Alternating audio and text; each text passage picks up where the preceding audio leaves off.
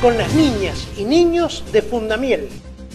Más de 400 personas asistieron a la tercera cena de gala de Fundamiel a beneficio de chicos con espina bífida que se llevó a cabo este último sábado en el Club Banco Mendoza, con el objeto de recaudar fondos para la construcción de la Casa Terapéutica Pro. El exitoso violinista José María Orgeira acompañó el ingreso de los asistentes y poco a poco se fue colmando el salón. El locutor Jesús Osorio tuvo a su cargo la conducción presentando en primer lugar a la presidenta de la institución, Mabel Castro, quien dio la bienvenida a todos los asistentes y les agradeció el gesto de solidaridad y compromiso. El presidente del Consejo Deliberante, contador Ricardo Vergara, destacó la importante labor que desarrolla Fundamiel. Y previo a la cena se emitió un video explicativo de lo que es espina bífida, sus secuelas, causas y tratamientos. Un momento especial y muy emotivo fue cuando la vicepresidenta Gisela Caballero dio lectura a una carta cuyos destinatarios